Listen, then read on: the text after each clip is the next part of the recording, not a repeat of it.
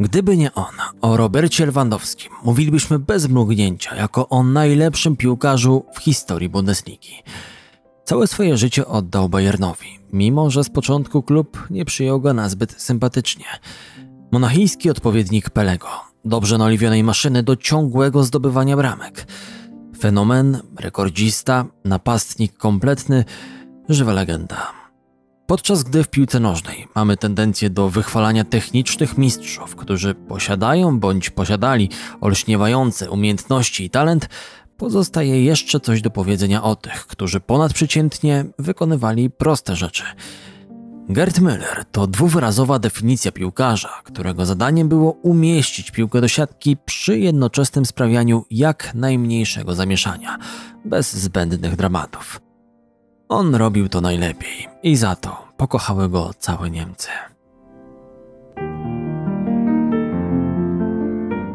Dzisiejszy hołd składamy jednemu z najbardziej płodnych, ofensywnych piłkarzy, jacy chodzili po tym świecie. Aby osiągnąć sukces w piłce, potrzebny jest dobry trener, oddani kibice, ale przede wszystkim odpowiedni skład. Historie z boiska i Okocim grają razem. Podcast w dobrym składzie. Witajcie w ostatnim odcinku serii podcastów, gdzie wraz z marką Okocim przypominamy Wam najciekawsze wydarzenia i postaci związane z Mistrzostwami Europy.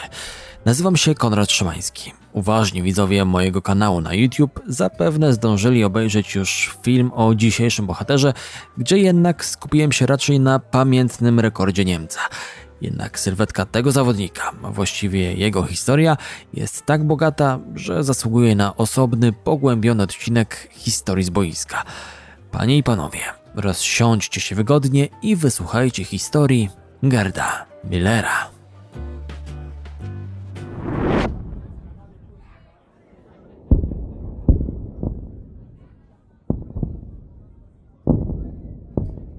Wojna zawitała do Nördlingen dość późno. Obudziła mieszkańców bombami spadającymi gdzie się da. Wiosną 1945 roku doszło do 13 nalotów, w których zginęły 33 osoby. Alianci zniszczyli dworzec kolejowy i kilka domów. Najbardziej uszkodzony jest protestancki kościół świętego Jerzego. Najgorsze przyszło w urodziny Führera 20 kwietnia 1945 roku. Większość malowniczej, zabytkowej starówki została zrównana z ziemią. Potem wkroczyli Amerykanie, a z nimi pokój.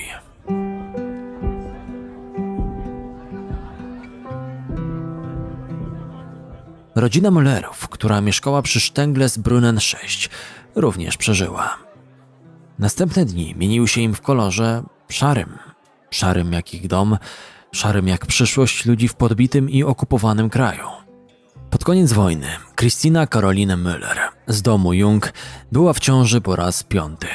Urodziła już syna i trzy córki, a druga z nich zmarła w wieku siedmiu lat. Najstarsza ma już 18, najmłodsza 3. Teraz nosi w brzuchu przyszłego bombowca narodu i nie powinno dziwić, że kopał ją najmocniej ze wszystkich dzieci. W tamtym czasie wielu ludzi zastanawiało się, czy był upragnionym dzieckiem. Dużo się mówi w miasteczku, gdzie wszyscy znają wszystkich. Kiedy Gerhard Müller urodził się 3 listopada 1945 roku, jego matka miała prawie 41 lat, a ojciec Johann Heinrich, pracownik fizyczny, który jeździł wagonikami z węglem, miał 47. Dlaczego małżeństwo w tym wieku i pod koniec straszliwej wojny oraz w obliczu niepewnej przyszłości decyduje się na piąte dziecko? Ludzie sami odpowiadają sobie na to pytanie. Ojciec umiera w kwietniu 1963 roku, matka w marcu, 20 lat później. Chrzest odbywa się dwa tygodnie po narodzinach i można zauważyć, że Gerhard jest jedynym dzieckiem Müllerów, które nie otrzymuje drugiego imienia. Ogólnie dość dziwne okoliczności podsycały spekulacje na temat pochodzenia Müllera. Jego kariera zaczęła rozkwitać, gdy ktoś pierwszy raz powiedział: Spójrzcie na niego. Chłopak z czarnymi jak smoła włosami i ciemnymi oczami.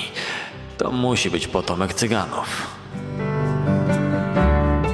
Nikt tego nie udowodnił. Niespecjalnie wielu ludzi to ciekało. Dla przeważającej większości Niemców liczyło się jedno. Gerd był dla nich największym napastnikiem w historii ich kraju i jednym z największych sportowców w ogóle. Pierwsze boisko małego Gerda znajdowało się tuż za progiem jego domu, gdzie codziennie po szkole spotykał się z grupą dzieci, aby grać z nimi w piłkę. I każdy był tym, kogo chcieli w przyszłości naśladować.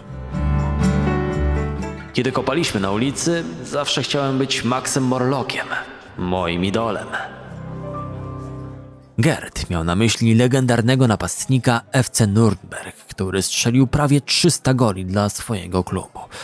Młody chłopak z łatwością pobije ten wynik 20 lat później. W wieku około 6 lat, kiedy zaczął uczęszczać do szkoły, zdobył swoje pierwsze bramki, zupełnie niezauważone przez świat. Brat Heinz to jego pierwszy trener. Dał mu pierwszą piłkę, wykonaną z plastiku, a nie ze skóry. Tylko dzieci bogatych rodziców mogły sobie pozwolić na prawdziwe futbolówki. Zupełnie mu to nie przeszkadza. Strzelanie do bramki złożonej z dwóch tornistrów to jego żywioł. Georg Menzinger dostał cynk. Trener seniorów TSV Nerlingen pojechał do Brunnen po informacji, że w grupie niezorganizowanej młodzieży może odnaleźć niezwykły talent. Po prostu tam jedź. Musisz się z nim zobaczyć. Menzingerowi nie zajęło dużo czasu, aby się zebrać i ruszyć na obserwację. To, co widzi w tym nie dającym się ustalić dniu w połowie lat 50., nie pozostawia go w stanie całkowicie obojętnym. Pyta małego Gerda, czy nie chce przychodzić do klubu na treningi. Ale jak wielki jest talent Müllera juniora, tak mało jest u niego pewności siebie. Sceptycyzm i wątpliwości będą z nim przez całe życie.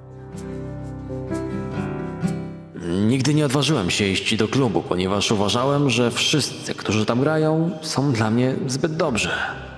Mówił w 1972 roku. Po chwili przezwyciężył nieśmiałość, a jego przyjaciel Peter Kraus, który występował już dla TSV, zabrał go na trening w któryś z pogodnych pionków. Jego przyszły szkoleniowiec nie zauważył dziurawych butów, w których przyszedł i pozwolił mu dołączyć do gierki. Tylko kapitan dziwi się i dopytuje nowego. Ej, zgubiłeś tu coś, grubasku? Gert udaje, że tego nie słyszy i dziurawi bramkę strzałami. Dwa dni później miał już na sobie zieloną koszulkę TSV i rozegrał mecz z Ottingen, 14 km od domu. W pożyczonych od przyjaciela butach strzela pierwsze oficjalne gole. Trzy. Potem rozkręcił się już na dobre. Legenda mówi, że tylko w samym roku 1963 miał na koncie 180 trafień. 26 z tych bramek padło w jednym meczu. 2 marca, kiedy Nerdingen pokonało SV Holzkirchen 31 do 2. Świat nigdy czegoś takiego nie widział. Nawet wtedy miałem bystre oko. Po prostu szybko wykańczałem swoje okazje. Pracownicy klubu chcieli wykorzystać fakt posiadania gracza z nieprawdopodobnym talentem. Podobno w tym sezonie 1962-63 skład powiększył się z 15 do 50 chłopców, tylko po to, by mieli okazję trenować z Müllerem. On sam wie, że po biciu rekordu strzeleckiego w piłce młodzieżowej powinien rozwijać się dalej. Poczekał dwa miesiące, zanim nabrał odwagi i poprosił szefa drużyny o przeniesienie w inne miejsce. Odpowiedź jest jednoznaczna. Chłopcze, zapomnij. Jeśli byśmy to zrobili, przyjdą tu twoi koledzy i będą prosić o to samo. Historie z boiska i Okocim grają razem. Podcast w dobrym składzie. Zielone Świątki roku 1964. Nerlingen jedzie na południe kraju, by rozegrać ostatni mecz w ligowym kalendarzu. FC Oberstdorf dostaje 7 ciosów, cztery z nich wymierzył Gerd. Tego dnia zawodnicy widzieli pierwszy raz swojego lidera naprawdę pijanego. Czy świętował kolejne mistrzostwo w lidze amatorów? A może chodziło o to, co powiedział do niego pewien mężczyzna, który podszedł do Müllera i szepnął parę słów. Nazywa się Aleksander Kotter i od 33 lat pracował dla Bayernu jako poszukiwacz młodych, potencjalnych gwiazd. Słuchaj, nie chciałbyś grać dla nas? Jesteś bardzo dobry. Zabiorę cię do Monachium. Bayern był wówczas drugoligowcem i grał w Regional Liga Południe. Chociaż występowali tam już i Sepp Mayer i Franz Beckenbauer, drużyna przegapiła awans do Bundesligi w 1964 roku. Wcześniej po Gerda zgłosił się inny zespół ze stolicy Bawarii, TSV 1860, ale skromny dziewiętnastolatek stwierdził, że elita niemiecka to jednak za wysokie progi. Wybrał Bayern. Po długich negocjacjach TSV otrzymał trochę powyżej 4000 marek niemieckich jako opłatę za transfer. W tamtym czasie Müller dostał też pracę na pół etatu u bawarskiego sprzedawcy mebli. Pensja w klubie nie pozwoliłaby mu na normalne życie. Odrzucił więc pracę spawacza w miasteczku i poprosił matkę, by za niego podpisała pierwszy profesjonalny kontrakt. Ciekawe byłoby wiedzieć, co Gerd Müller wyobrażał sobie podczas niespokojnych nocy przed przeprowadzką do Monachium. On sam w wielkim mieście, bez rodziny, bez dziewczyny, bez pojęcia co przed nim. Nie zna trenera, nie zna swoich nowych kolegów, nawet z telewizji, bo ta nie pokazuje meczów niższego szczebla. Nie zna też mieszkańców Monachium, a oni nie znają jego. To prawdziwi Bawarczycy, mówią zupełnie inaczej niż w Szwabii. W zasadzie dla młodego człowieka była to przeprowadzka za granicę. Bałem się dużego miasta, nie miałem prawa jazdy. Przeszedłem 10 km od boiska treningowego do mieszkania na Rosenheimerplatz, żeby zapamiętać drogę. Otrzymuję od klubu pokój w dzielnicy Heidhausen. Czynsz wynosi 120 niemieckich marek. Jego królestwo to dwa łóżka, stół, umywalka zastępująca prysznic. Szczególnym luksusem jest radio. Tak właśnie wygląda pierwsza stacja Gerda. To oczywiście więcej niż miał wcześniej, w pokoju dwuosobowym z bratem Heinzem, więc całkowicie mu to wystarczało. Nowy adres Müllera pojawił się nawet w prasie branżowej, aby fani wiedzieli, gdzie wysyłać prośby o autografy. Ale on nie ma jeszcze fanów. Co najwyżej kilku szyderców, bo jego wygląd przyciągał dużo uwagi i docinek. Ważył prawie 90 kg przy 176 cm wzrostu. Zwisający brzuch i potężne uda były tymi partiami ciała, których nie dało się ukryć. No i jeszcze ten dialekt. Sepp Mayer, z którym napastnik zdobędzie wszystkie gwiazdy piłkarskiego nieba, po latach wspominał prezentację nowego gracza w szatni. Śmialiśmy się do rozpuku, gdy zobaczyliśmy go po raz pierwszy. Okrągła czaszka z krótko przestrzeżonymi włosami, duży tors, krzywa nogi. A później się przedstawił. Jestem snajperem z Nürlingen. Po tym zaczęliśmy turlać się ze śmiechu. Szybko się zreflektował. Wziął Müllera na bok i wszystko mu wyjaśnił. Potem razem z Wernerem Olkiem i Adim Kunzwaldem zaopiekował się nowym nabytkiem Bayernu. Gorzej było z trenerem. Zlatko Czajkowski początkowo nie wykazywał entuzjazmu dla młodego, krępego napastnika ze Szwabii. Co mam zrobić z tym chłopcem? Ta figura. Przecież to niemożliwe, by sztangista był piłkarzem. W monachijskim Salvator Keller, gdzie zespół tradycyjnie spożywał posiłek na początku sezonu, doszło do wybuchu gniewu szkoleniowca. Kiedy Gerd próbował wyżebrać drugą miskę zupy, trener aż podskoczył i wykrzyknął. Ty ciągle żresz. Ty mały grubasik, który nie widzi piłki, kiedy leży pod brzuchem. Nie jesz zupy i ziemniaków. Masz jeść tylko steki, nie pijesz mleka, tylko sok owocowy. Żadnego makaronu i ryżu. Dlatego Müller początkowo nie mieścił się w składzie zespołu, który z werwą śmiało dążył do awansu do Bundesligi. Dopiero pod naciskiem prezydenta nowy gracz wystąpił wreszcie w barwach Bayernu 18 października 1964 roku przeciwko Freiburgowi i zdobył bramkę w wygranym 11 do 2 meczu.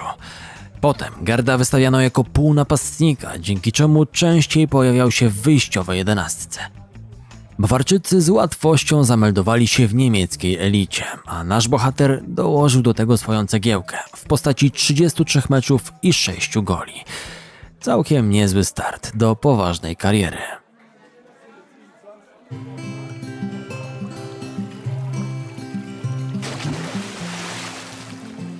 Po trzech tygodniach urlopu spędzonego w swojej małej ojczyźnie, głównie na basenie, Müller wrócił do Monachium wypoczęty i chętny do akcji. Miał wtedy 19 lat i mógł grać w Bundeslidze, którą niemiecka federacja powiększyła z 16 do 18 drużyn. Tak się akurat złożyło, że jego debiut przypadł na derby z TSV, przegrane 0 do 1.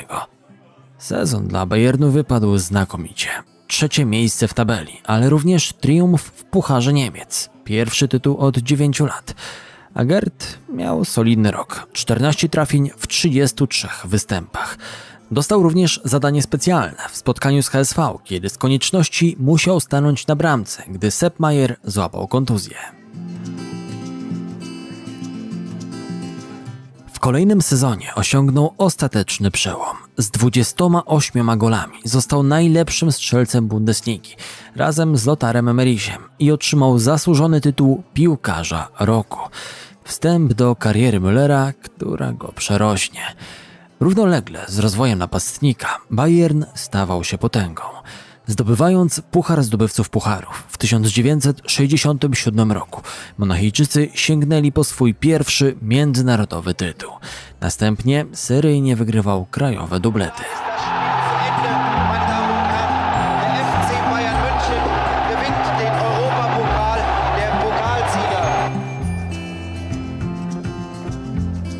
Nim się obejrzał, został liderem reprezentacji. Gerd Müller zawdzięcza tytuł piłkarza roku 69 nie tylko bramkom zdobytym dla Bayernu, a głównie dzięki swym osiągnięciom w ekipie Die Mannschaft. Drużyna narodowa, która nie dostała się na Mistrzostwa Europy po kompromitującym 0 do 0 z Albanią w końcówce roku 67 musiała za wszelką cenę awansować na mundial w Meksyku. Jednak kolejny raz miała spore trudności w eliminacjach i bez Gerda prawdopodobnie nigdy nie poleciałaby za ocean. Napastnik zdobywał gole w każdej z sześciu gier i kultywował rolę zbawiciela w potrzebie. Na Cyprze, kiedy wszyscy już zrezygnowali z próby pokonania bramkarza, on zrobił to w 92 minucie. W Norymberdze ponownie strzelił jedynego gola w 88 minucie. Reporter ZDF Helmut Bent mówił wtedy: Odkąd Gerhard Müller zaczął grać w kadrze narodowej, potwierdził to, co znawcy tematu kiedyś odrzucili.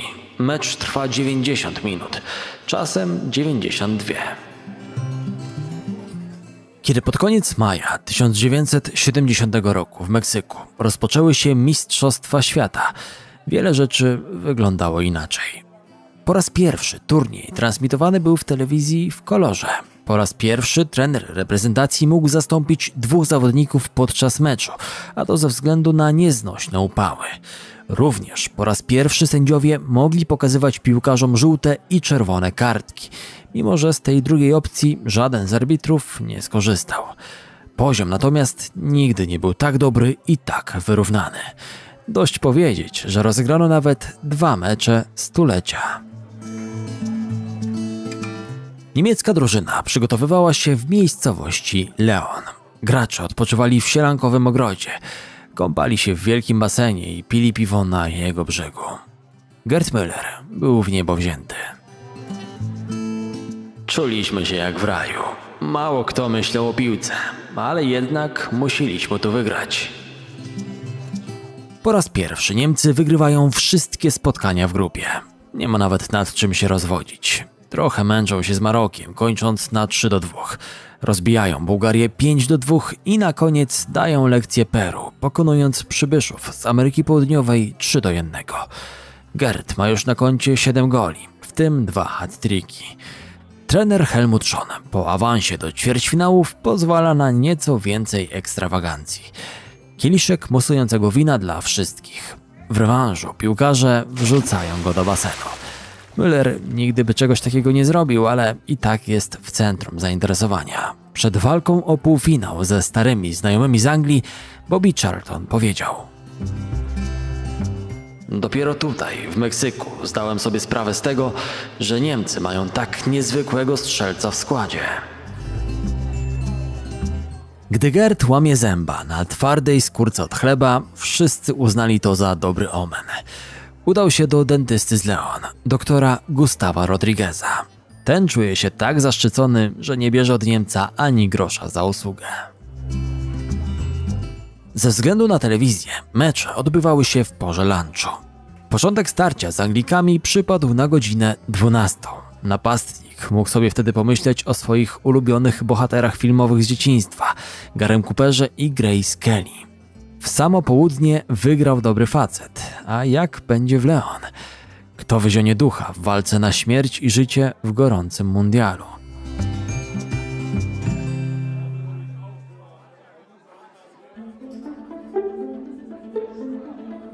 Po 50 minutach Niemcy znaleźli się na skraju porażki 0 do 2. Lecz potem Beckenbauerowi udało się nawiązać kontakt po indywidualnej akcji. W 82 minucie piłka trafia w głowę Uwe Zillera i również ląduje w siatce.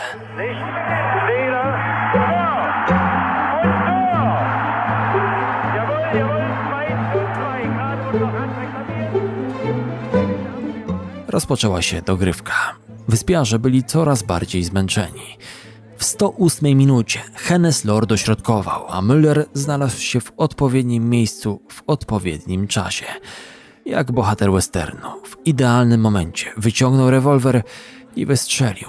To on był szeryfem tego miasteczka.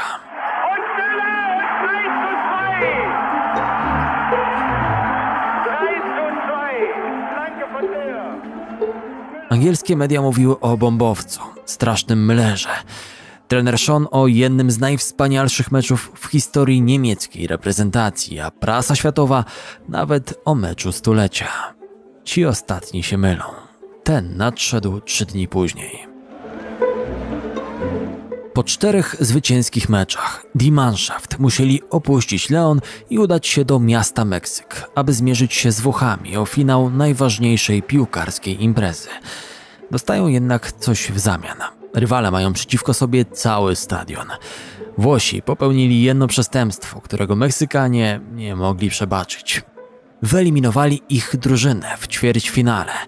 W dodatku nikt nie ceni ich stylu. Ohydnego catenaccio. Dość powiedzieć, że Italia awansowała z grupy z bilansem bramkowym 1 do 0. Zwykle wystarczał im jeden gol, aby wygrać. Ich defensywny styl pomaga włoskim klubom osiągać międzynarodowe sukcesy, a składra Azzurra zdobyła w ten sposób tytuł Mistrza Europy w 1968 roku. Ancora Polizegna, tiro,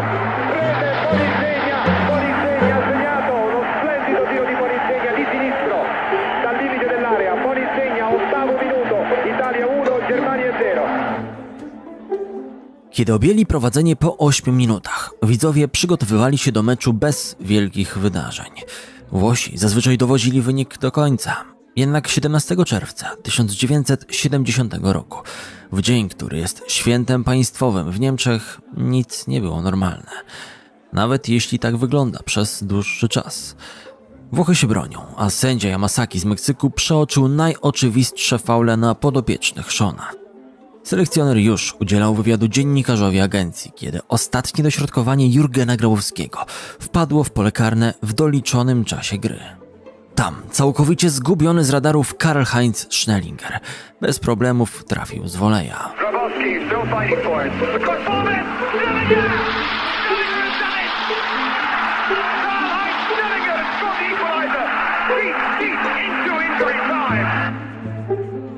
Dogrywka. Już w dodatkowych 30 minutach działy się prawdziwe cuda. Obie drużyny co chwilę zadawały sobie ciosy. Tercizio Burnicz na 2 do 1. Müller znów wyrównał. Luigi Riva dorzucił trzecią dla Italii, tylko po to, by zobaczyć jak po 6 minutach Müller ponownie doprowadza do remisu. Każdy, kto poszedł później po piwo do lodówki, stracił decydującego gola. 14 sekund po wznowieniu gry Gianni Rivera po raz czwarty i ostatni umieścił futbolówkę w niemieckiej bramce.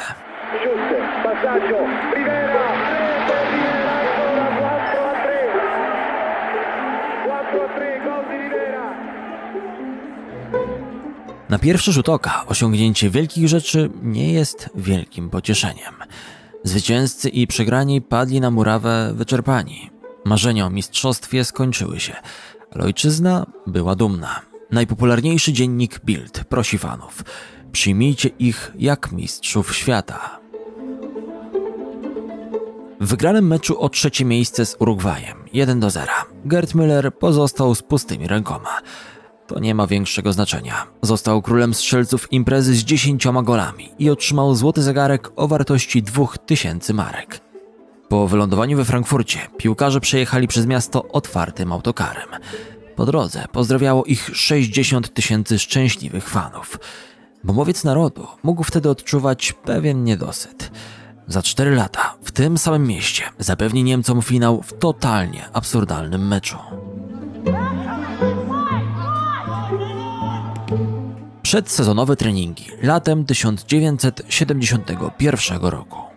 Niewielu w Bayernie rozpoznało Gerda. Dla tych, którzy choć trochę znają jego karierę, może się to wydawać kłopotliwe. Przecież znał go cały świat. Tymczasem Müller rozpoczął misję przeobrażania się ze złotego chłopca w mężczyznę. Powiew młodzieńczego cudu zniknął zastąpiony imponującym wąsem i aurą wzmożonej determinacji. Często znany ze swojego niskiego wzrostu i krępej postury ciała, teraz wzmocnił sylwetkę solidną warstwą mięśni. Przy wadze 72 kg był w szczycie swojej fizycznej formy. Nikt nigdy nie widział go tak szczupłego. Co było powodem tej transformacji fizycznej oraz psychologicznej? Porażka z sezonu 1970-71 dla wiecznie triumfującej ekipy Bayernu z początku lat 70. Przegrana oznaczała jedynie zajęcie drugiego miejsca w Bundeslidze i zdobycie nagrody pocieszenia Pucharu Niemiec. Dla 25-latka to dotkliwa klęska, osobista i trudna. 22 bramki nie dały mu armaty dla najlepszego strzelca. Zniewaga, która wymagała krwi. Historie z boiska i Okocim grają razem. Podcast w dobrym składzie. Lothar Koblun z Oberhausen pokonał go dwoma golami, więc wakacyjne plany Der Bombera zostały porzucone. Müller wyróżniał się od innych śmiertelników tym, jak reagował na drugie miejsca. Ponieważ późne lato niechętnie przekształciło się w typowo malowniczą bawarską jesień, niewiele było oznak, co może się w tym sezonie wydarzyć. Niewykorzystane rzuty karne, strzelenie tylko jednego z łącznie 12 goli Bayernu i nieco skromne 4 trafienia w 10 meczach. Nie do końca szło to zgodnie z planem. Musiał chwilę poczekać, aż worek się rozwiąże. Październik przyniósł 5 bramek w dwóch meczach z Duisburgiem i Hamburgiem, w tym hat-trick w niespełna kwadrans. W listopadzie oddał czterobramkową salwę w wygranym 11 do 1 szlagierze z Borussią Dortmund. To do dziś hańba dla kibiców Schwarzgelben. Po przerwie zimowej Bassa ożywiła się, kiedy zdobył 5 z 7 goli, które Bayern wpakował największemu rywalowi Müllera w walce o statuetkę dla najlepszego napastnika, Koblunowi i jego Oberhausen. Nadchodziła wiosna i kulminacja niezwykłej kampanii czerwcu 1972 roku Die Roten zostali mistrzami ligi po raz trzeci w historii, a Müller jako pierwszy przekroczył magiczną liczbę 40 bramek w jednym sezonie. Monumentalny wyczyn miał miejsce 3 czerwca w starciu z Eintrachtem Frankfurt. Zanotował wówczas hat-tricka. To wtedy Erich Schriebeck, trener Orłów, miał powiedzieć Naprawdę, zamieniłbym dwóch Beckenbauerów na jednego Mullera. A Gerd Trinkern, środkowy obrońca Eintrachtu, zupełnie bezbronny w walce z napastnikiem mistrzów, powiedział coś, co dla każdego atakującego byłoby pięknym komplementem. On robi takie rzeczy, których nikt inny na tej planecie nie byłby w stanie zrobić. Jedynym sposobem, aby go zatrzymać, jest zakucie go w kajdanki. Po potwierdzeniu nagrody dla najlepszego strzelca, nasz bohater obserwował z trybun, jak jego drużyna bierze tytuł wygrywając ostatni mecz z Szalkę 5 do 1. Sprytny Gerd uznał, że niepotrzebne jest dodawanie kolejnych sił na podkręcenie rekordu i wybrał odpoczynek przed zbliżającymi się Mistrzostwami Europy. Kto wie, czy gdyby Niemiec nie odpuścił, to najlepsze osiągnięcie strzeleckie być może wytrzymałoby dłużej niż 49 lat. Tego się nie dowiemy. Faktem jest, że golem w ostatniej minucie z Augsburgiem Robert Lewandowski zmazał wynik Niemca. Prawie półwieczny rekord przeszedł do historii za sprawą bombowca z Polski. Odbywające się w sąsiedniej Belgii Euro 72 miało zadziwiająco minimalistyczny format. Turniej, w którym rywalizowały tylko cztery drużyny, wymagał trzech miast gospodarzy i składał się z zaledwie czterech meczów. RFN rywalizował w dwóch z nich, a Müller zdobył po dwie bramki w każdym. Najpierw odprawił z kwitkiem w półfinale gospodarzy. Stworzył intrygujący finał przeciwko Związkowi Radzieckiemu, a później tych samych Sowietów zatopił na Heysel.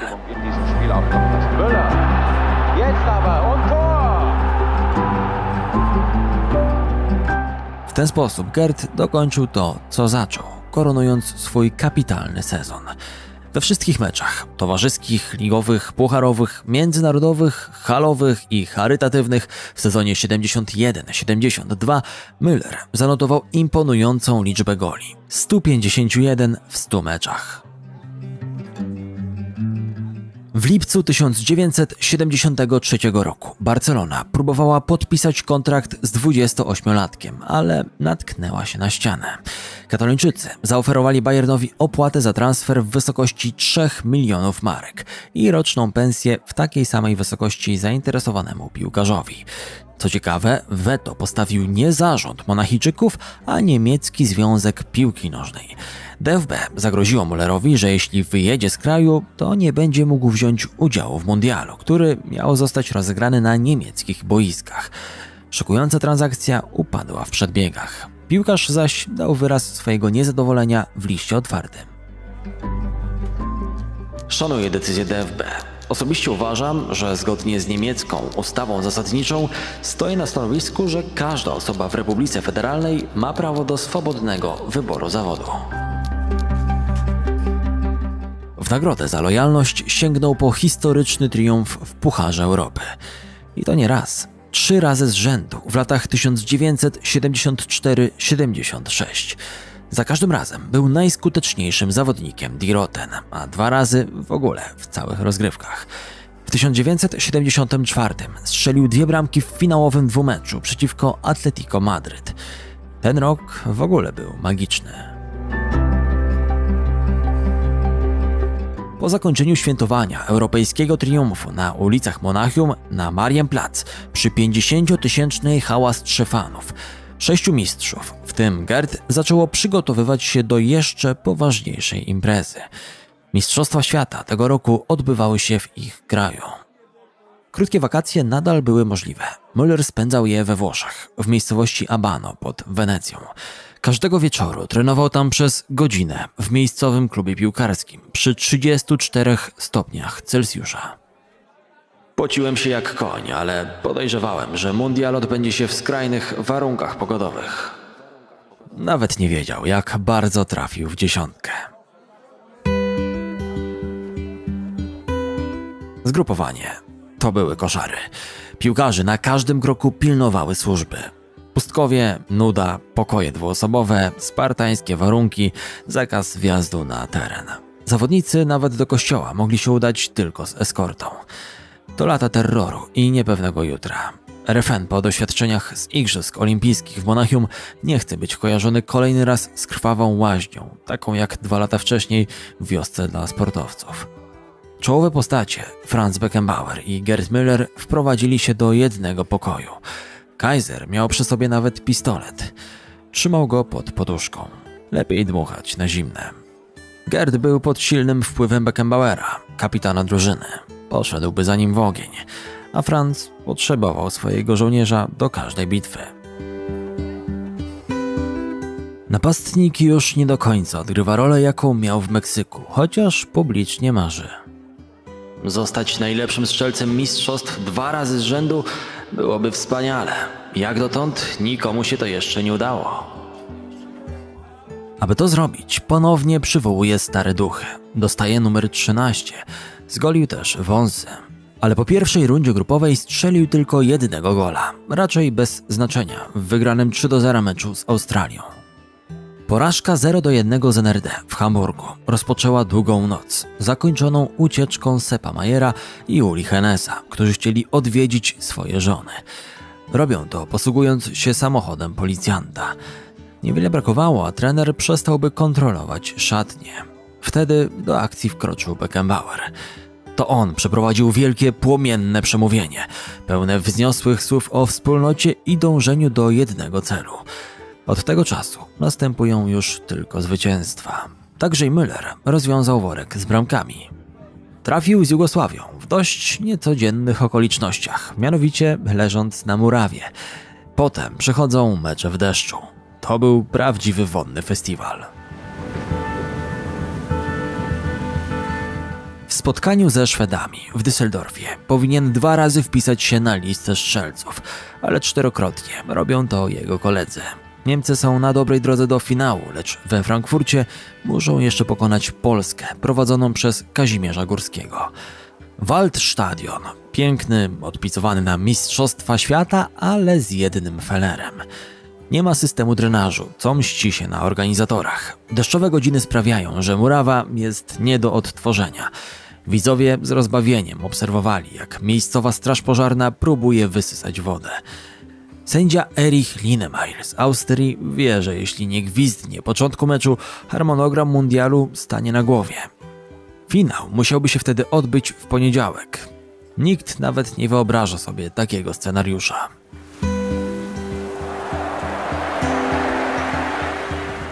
Najdziwniejszy mecz Mistrzostw Świata rozgrywany był na zielono-brązowym jeziorze.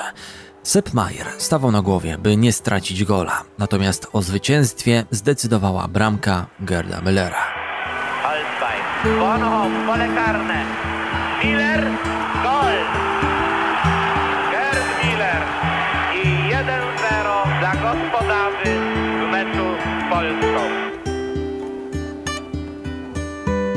Jestem w siódmym niebie. Nie wiem, jak udało mi się na chłodno wykorzystać tę sytuację. Komentarz cokolwiek dziwny. To tak, jakby najlepszy architekt na świecie po ukończeniu domu zastanawiał się, w jaki sposób zamontował okna. Nazajutrz poszedł do pokoju selekcjonera z wyznaniem.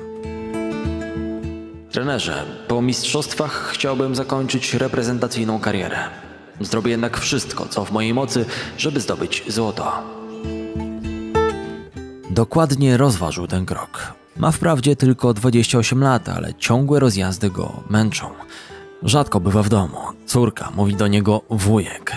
W dniach poprzedzających finał z Holandią męczyły go niepokoje. Nie spał w nocy przed najważniejszym meczem swojego życia. Nawet cicho słucha radia, gdzie wróżka przepowiada zwycięstwo o ranie 2 do 1.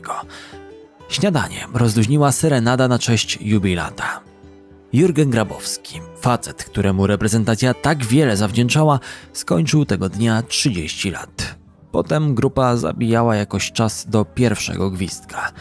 W drodze na stadion Helmut Schon ponownie pyta zawodników. Ale na pewno wszyscy zabraliście buty? Dziś można się z tego śmiać, ale 4 lata wcześniej w Meksyku Willy Schulz właśnie z tego powodu usiadł na ławce rezerwowych w starciu o trzecią lokatę. Na miejscu ponownie pojawiają się rysy na tak osławionej niemieckiej perfekcji.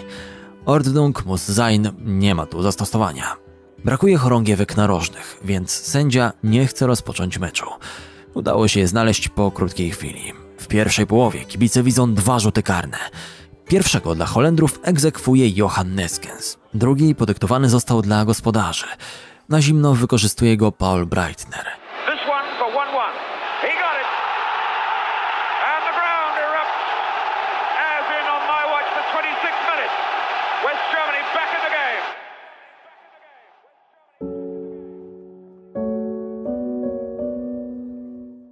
44 minucie następuje decydująca akcja między Grabowskim, Bonhoffem i Müllerem. Ten ostatni pakuje piłkę do siatki.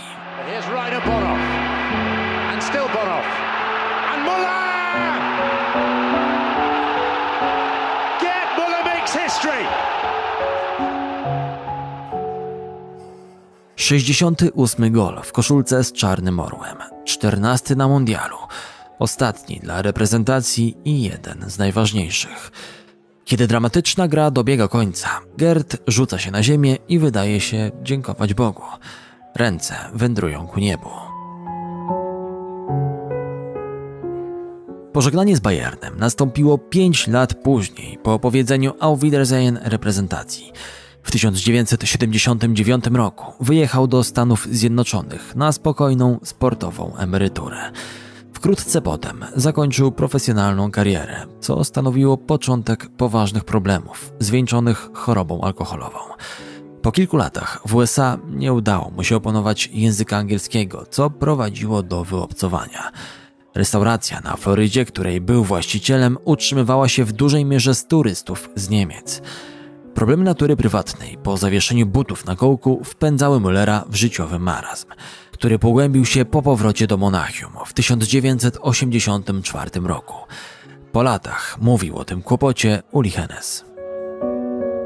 Stawiali mu kolejkę, a następnie chwalili się, że go znają. Pustkę ratował alkoholem. Wtedy zaopiekowali się nim starzy koledzy z boiska. Franz Beckenbauer i Uli Hennes. Dużo zawdzięcza zwłaszcza Beckenbauerowi, najlepszemu przyjacielowi z czasów kariery. Sam Kaiser twierdził później, że po prostu nie mógł zostawić go w potrzebie. Miałem ogromne szczęście dzielić z nim pokój na wyjazdach przez wiele lat. Był mi jak brat. Moim zdaniem to najlepszy zawodnik Bayernu w historii. Za 100 lat ludzie nadal będą go wspominać. Po udanej rehabilitacji życie bombowca zaczęło zyskiwać cieplejsze barwy. Działacze Bayernu zaoferowali Müllerowi pracę przy szkoleniu młodzieży. W Bawarii osiadł już na dobre. Jako asystent w trakcie meczów łącznie zasiadał na ławce 779 razy. Najskuteczniejszy niemiecki napastnik wszechczasów miał czym zająć myśli. Koledzy z boiska wyrwali go ze szponów depresji. Z czasem jednak zaczęły nasilać się inne kłopoty zdrowotne. W 2011 roku u Mullera zdiagnozowano pierwsze symptomy choroby Alzheimera. Przez długi czas klub ukrywał te informacje, ale w 2015 roku wszystko wyszło na jaw. Najskuteczniejszy napastnik w historii Bundesligi usunął się w cień. Dożywa spokojnej starości, z dala od świata futbolu. Jego legenda będzie dalej głośna. Wciąż jest on najlepszym strzelcem w historii Bundesligi. Zdobył łącznie 365 goli. Gdyby nie on, być może nie byłoby takiego Bayernu ani takiej niemieckiej kadry, jaką widzimy obecnie. To zawsze powtarzał Beckenbauer. Bez Gerda Müllera wciąż prawdopodobnie bylibyśmy w drewnianej chatce, która kiedyś była siedzibą naszego klubu. Mam do Was jeszcze jedną prośbę. Zostawcie na YouTube łapkę w górę pod tym odcinkiem oraz komentarz z propozycją kolejnej postaci do serii legendarnych. To naprawdę jest istotne. Bardzo dziękuję. Konrad Szymański, kłaniam się nisko i do usłyszenia.